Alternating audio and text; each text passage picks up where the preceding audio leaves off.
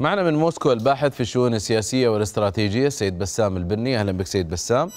آه، سيد بسام يعني تطورات كبيرة لا زالت الهجمات بالمسيرات على العاصمة الروسية تستمر. آه، هناك ما يطلق عليه الهجوم المضاد وإن كان بطيئا القوات الأوكرانية تقول يحقق إنجاز آه، بطيء جدا. كيف تقيم هذه الأوضاع؟ لماذا ردود الفعل الروسية تبدو يعني متأنية؟ أو متواضعة أمام مثل هذا الهجوم. أسعد الله أوقاتك أستاذ ماجد وأوقات مشاهدين سكاي نيوز عربية الكرام. يعني اولا يجب الإشارة إلى أنني ألاحظ أن هناك حقيقتان في هذا الهجوم، الحقيقة الأولى هي أن الجيش الروسي طور آه، أدوات الحرب الإلكترونية والحقيقة الثانية هي الحقيقة السياسية بأن آه، أوكرانيا باستفزاز واضح لوزارة الدفاع بعد أن صرح البارحة آه، شيغو بأن أي استهداف للأراضي الروسية بما فيها شبه جزيرة القرم سيكون الرد دون آه، تأخر على مراكز قيادة مراكز اتخاذ القرار في كيف هذا يعني أننا أمام تصعيد وتصعيد مضاد وأوكرانيا والغرب من وراءها يريدون إرسال رسالة لروسيا بأننا لن نتراجع رغم التقهقر الهجوم المضاد الذي يتحدثون عنه. أما عن موضوع التأني الروسي فهو تأني آه، حذر إن صح التعبير وهو دفاع إيجابي.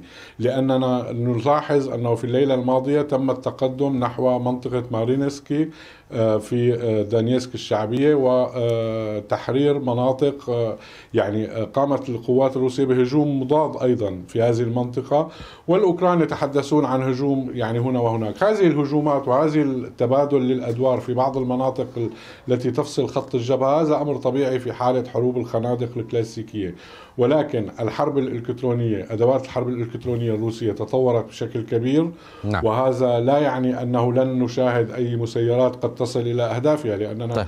نحن أمام حرب جديدة من نوع جديد بموضوع الدرونات. تفضل تفضل أستاذ أه يعني سيد بسام هناك أنت تتحدث عن الحرب الإلكترونية لكن اليوم الحديث عن حرب المسيرات.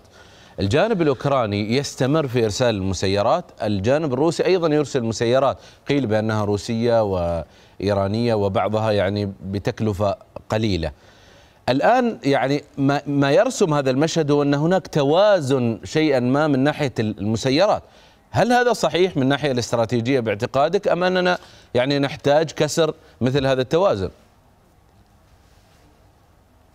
ليس ليس صحيحا هذا التقييم لأننا نلاحظ طائرات المسيرة اللانسيت مثلا الروسية وهي تقصف وتضرب وسائل الدفاع الأوكرانية مثل إس 300 ومثل الدبابات الليوبارد والبرادلي المدرعات الأمريكية وغيرها من التقنيات العسكرية الأوكرانية.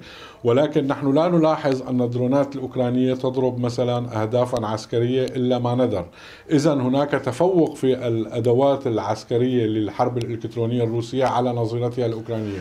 ودرونات تابعة لقسم الحرب الإلكترونية لأنها تسير عن طريق ال GPS.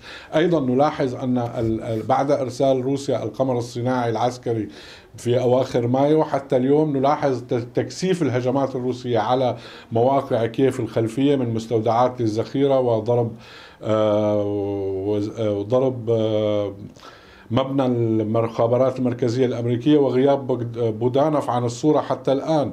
وهناك آه، إصابات مباشرة للمخازن وكلنا نشاهد الفيديوهات. طبعا هناك خسائر في الجانب الروسي ولكن ليست إلى هذه الدرجة التي تذكر بالمقارنة مع الخسائر التي يتكبدها الجانب الأوكراني. إذا نحن أمام جيش يتعلم من أخطائه وجيش آه، يعني يريد الانتحار بناء على رغبة الغرب من نعم. أجل تحقيق أي نصر ولو كان رمزي في آه، ما يسمى الهجوم المضاد من أجل تبرير توريد الأسلحة إليه.